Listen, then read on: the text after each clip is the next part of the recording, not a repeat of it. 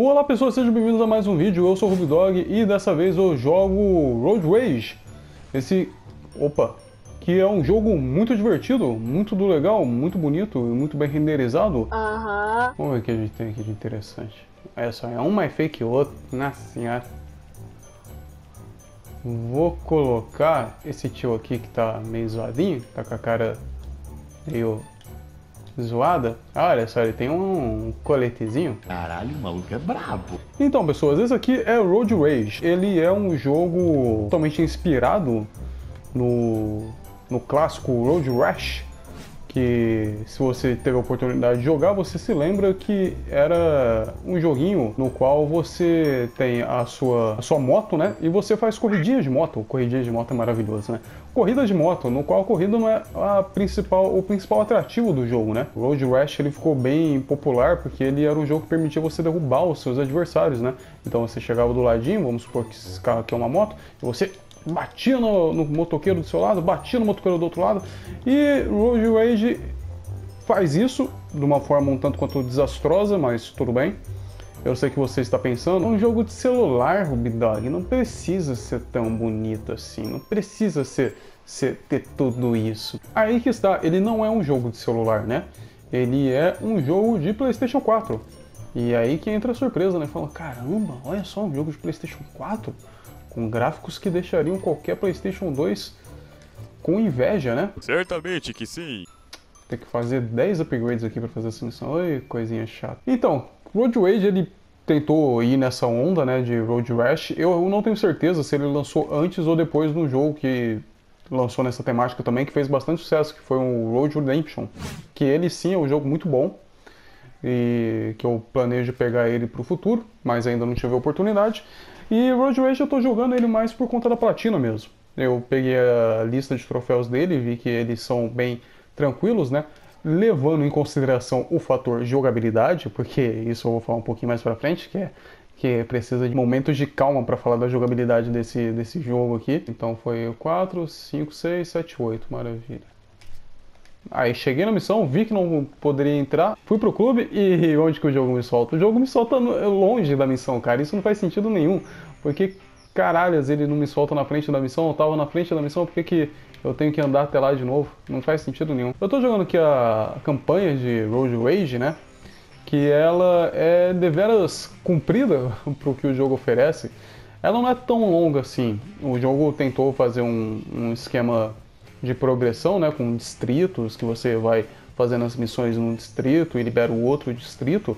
Só que a jogabilidade dele é tão desastrosa que mesmo cada distrito demorando coisa de 20, 25 minutos para você fazer todas as missões, fica muito maçante você fazer as coisinhas por conta dessas decisões é, sem muito sentido que eles optaram, né? Por exemplo, isso da missão, né? A missão você entra na missão, vê o que precisa nela e se precisa de mais alguma coisa. Nossa! Ano do céu. Mas também tem outras coisas que ele pecou que eu sinceramente não entendi o motivo. O cara já tá muito na frente, cara. Esse jogo aqui eu entendi que não vale tanto a pena você ficar tentando ganhar se você já começa numa posição muito muito ruinzinha, né? ele eu percebi que vale mais a pena você reiniciar e tentar já pegar uma posição melhor aqui no começo. Já vamos sair daqui já. O cara tá louco para me acertar. Ok, passando para cá. Opa, boa, já pulando para segundo, maravilha. Todo mundo bateu. Agora eu e ele ali, ó, um x1.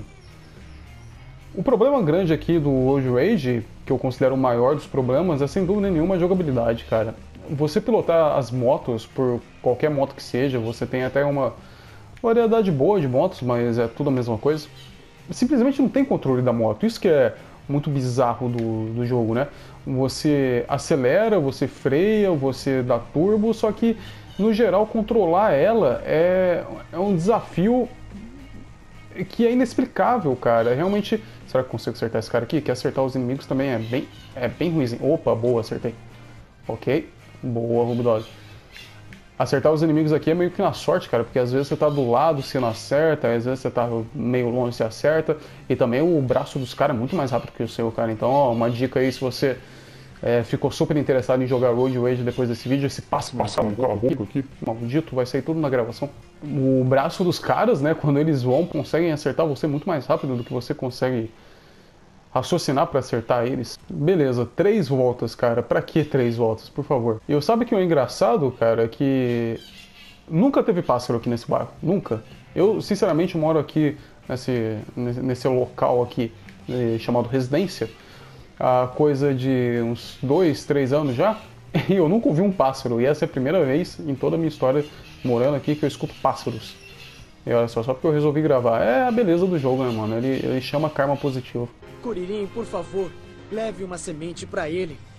E olha só, dá pra empinar a moto, dá pra controlar ela bonitinho. O problema maior da jogabilidade da moto, fora o fato dela ser feita de querosene, né? Porque você bater em qualquer coisa, você explode. Ela simplesmente não tem uma, uma jogabilidade real, não tem uma jogabilidade lógica, por assim dizer. Você faz muita força em algumas horas e outras horas você não faz força nenhuma. É, é, é ilógico. Ok, recebemos mais uma mais uma missãozinha ali da campanha. Só pra não falar que eu só tô reclamando do jogo, isso aqui eu acho legal pra caramba. Não o mapa, né? Porque o cara que teve a ideia de colocar as ruas brancas com o seu ícone do jogador também branco é um gênio, né? Esses humanos idiotas! Olha só, o jogo tem distritos, né? Ele tem, tem toda uma área aqui divididinha, tem missões secundárias. Os caras realmente acharam que o pessoal ia, tipo, ficar, nossa, quantas missões. Só que as missões secundárias são muito loucas, porque elas, tipo, não desaparecem, tá ligado? Você faz a missão secundária, tipo, sei lá, essa missão aqui. Aí você faz essa missão aqui e ela fica lá para sempre pra você continuar repetindo ela por toda a sua vida, se você quiser. Mas então, o que eu achei muito legal, cara, é que como eles são pilotos de motos, né? o celular deles é trincado, cara. a tela, a tela tá rachada e ele tá todo riscado. Eu achei isso um detalhe bem bacana, cara. Eu achei realmente muito bem pensado. Tipo, não, o cara pilota uma moto em alta velocidade e tal. O cara vai ter um celular rachado, vai ter um celular zoado. Então, esse modo de jogo aqui, ponto de checagem, né? Eu tenho que pegar o checkpoint antes dos NPCs, deixa eu já ver onde eles estão. Eles estão muito longe. Vou fazer o seguinte, aí eu já aproveito. É, eu vou sair da missão, ok. Aí eu venho aqui no clube e trocar de moto. Não, não quero trocar de piloto. Quero trocar, ah, só para mostrar as armas. Tem uma variedade até que interessante de armas, só que como a jogabilidade não é das melhores, você não fica interessado em desbloquear, em saber, ó, oh, tem um machado, como será o um machado? Porque é a mesma coisa, cara. É simplesmente outra arma genérica que faz a mesma coisa, fora a, a shotgun aqui, que eu realmente estou curioso para saber o que ela faz, né? Porque eu ainda não desbloqueei, tô, tô, tô deveras curioso para saber se ela tira, porque, puta, se for uma shotgun e você bate com a shotgun no cara, aí é sacanagem. Beleza, que eu coloquei todos uns paranauê coloridão nela, tá toda carnavalesca, olha só, moto com, com roda colorida e tudo coloridinho, o pássaro tá cantando deveras aqui, mano. Tomara muito que não saia na gravação. Eu não vou gravar essa porra de novo. É, tá bom. Com essa moto aqui eu acho que vai ser um pouco mais fácil, porque ela tá bem upada, né? Aí eu consigo ir um pouco, olha só, já na reta já ganhei dos caras. É claro. O segredo aqui, cara, é que independente do modo de jogo, tá ligado? Você tem que prestar atenção só na, na linha de chegada, tá ligado? Você não, não compensa, o jogo simplesmente não funciona para ser jogado da maneira como eles queriam, né? De, de derrubar os adversários e ser algo divertido de se fazer, porque é muito frustrante você querer derrubar o adversário. Às vezes você o adversário te derruba, mas você não derruba ele e fica num ciclo vicioso de você chegar perto de outro motoqueiro e ele te derruba e isso acontece três vezes seguidas, você já fica putaço, já quer quebrar o controle. E eu realmente tenho que parar com isso, de pegar um jogo ruim só porque ele tem uma platina fácil, tá ligado? Porque realmente não vale tanto a pena, cara. No, o tempo que você gasta jogando algo que, sinceramente, independente do, da sua filosofia e qual seja seu gênero favorito de jogo, você tem que concordar que videogame é entretenimento, cara. Se você joga algo que não está sendo divertido, o jogo fracassou. Né? E quando você começa a jogar só por conta de, ah não, vou jogar do, do começo ao fim do jogo você já tem um pensamento de vou fazer só o 100% dele, cara, não acho que vale tanto a pena assim, tá ligado? Mano do céu, pra que isso? Isso é só pra encher linguiça, cara. É esse o meu grande problema também com o jogo, é as missões, porque elas são repetitivas ao extremo, tá ligado? São todas iguais, são idênticas. Você faz a mesma coisa sempre. Só que para dar um mínimo de variedade e encher linguiça, né, aumentar o tempo útil da campanha, eles fazem esse tipo de coisa, tá ligado? Você tem que matar dois alvos, ele te dá três alvos. Só que os três estão na puta que pariu, tá ligado? Dá pra virar aqui. Pra que isso, irmão? Pelo menos aí é bom que eu vou mostrar um pouco pra vocês do, do cenário do jogo, né? Que é realmente muito vivo. O pessoal teve um grande trabalho fazendo a ambientação do jogo. Nossa, bati feio aqui. Olha só esse cenário aqui que já tem umas casinhas, já é mais trabalhadinho e tal. Só que no geral não passa disso, tá ligado? É, são casas e carros iguais e a mesma pessoa passando uma igual a outra na frente. Queridão, para de correr. Beleza, um foi. Ok. O próximo, ó, o próximo se eu pegar ele reto aqui, ó, pega uma talinha, quer ver? Quer ver? Quer ver? Isso, irmãozão, isso, irmãozão. Pronto, você vai. Pronto, você vai. Opa, quase. Olha, que ia ser muito bom se eu, se eu pegasse ele na, na direção que ele vinha mesmo. Ah, cretino, volta. Acerta. Boa. Isso aí, irmão. Engraçado que eu tô com um mega taco de golfe e tem um, um, um, um raio enorme para conseguir acertar os caras e tem toda essa dificuldade para acertar os malandros. Uma coisa aqui que eu queria muito mostrar para vocês, né, que é sem dúvida nenhuma a coisa mais divertida que tem no jogo, que é embater em pedestre. Olha só, que divertido. Ele fica em slow motion e tem todo um show off quando você vai bater na cabeça no coitado. Olha só, vou bater aqui no Zezinho. Joguei para fora. E olha só quem tá aqui na frente. É o Zezinho também, ó. Olha só, eu bato em dois Zezinho ao mesmo tempo, é, é, em seguida aqui, tá ligado? Beleza. Agora o jogo me fez andar até aqui, pra ter que ir até lá de novo pegar outra missão. Porra, tá de parabéns, jogo. Você tá de parabéns. Ó, a mesma missão que eu acabei de fazer, os caras nem tentaram... Ah, cara, pra que isso, mano? Olha isso, cara. Pra que, tio? Além dessa ser a missão que eu acabei de fazer, os caras nem tentaram, tipo, não, vamos jogar uma, sei lá, uma corridinha no meio dessas duas missões iguais, só pro, pro pessoal não ver que a gente tá com preguiça de fazer mais conteúdo. Não, os caras me jogam de novo a mesma coisa que eu acabei de fazer. Ok. Nossa, queridão. Beleza. Você foi. Tá, agora eu vou descer nossa, tio, eu vou andar muito, que isso. E sabe o que é o pior, cara? Que depois eu vou ter que voltar pra cá, pra esse outro distrito, tá ligado? Pra pegar o, o, a próxima missão. Mano, isso é completamente ilógico, cara. Não tem sentido. Um mapa, né, cara? Eu acredito que o mapa é, deve ser uma das paradas mais responsivas num jogo, né, tá ligado? Tipo, não responsiva assim, mas, tipo, mais fácil de ser lido, né? O, o mapa é uma, fazer um mapa é uma arte, cara. E você realmente, cara, isso é uma das poucas coisas que realmente não me desce, tá ligado? Eu até posso engolir um jogo bugado, um jogo com gráficos de duas ou três gerações atrás.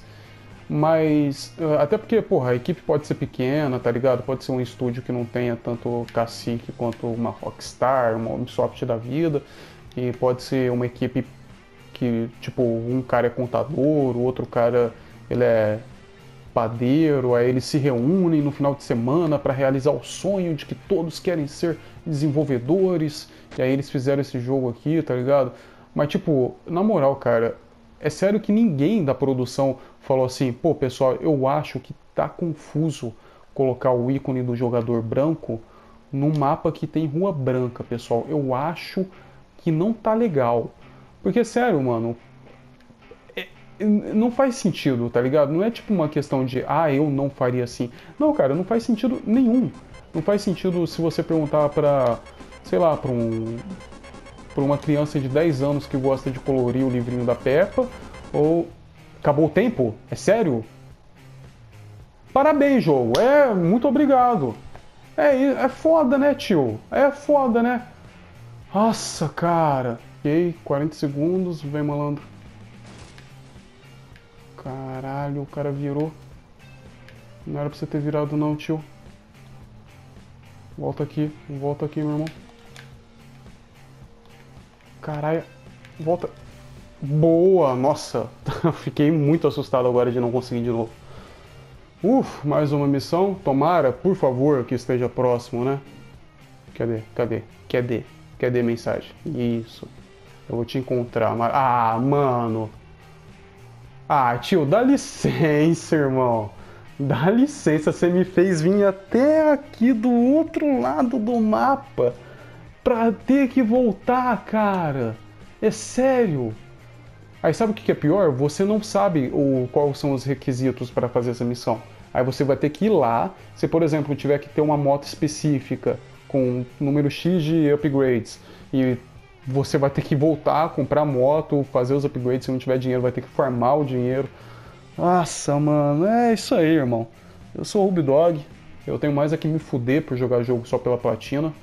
E esse aqui é o Nerdiar. Tem muito conteúdo de videogame sendo postado aqui. Se você ficou interessado, se esse vídeo aqui chegou até você e você quiser ver mais vídeos desse canal, é só olhar aí, tem bastante coisa, tem algumas coisas que são legais, fique à vontade. Caso queira avaliar esse vídeo, por favor, é, no mais, então. Ah, e tem as redes sociais aí embaixo, hein, cara. Então, se você quiser seguir nós aí, segue nós lá, por favor. Então, no mais, valeu, falou e fui. Puta que pariu, eu tô indo pro caminho errado ainda, cara.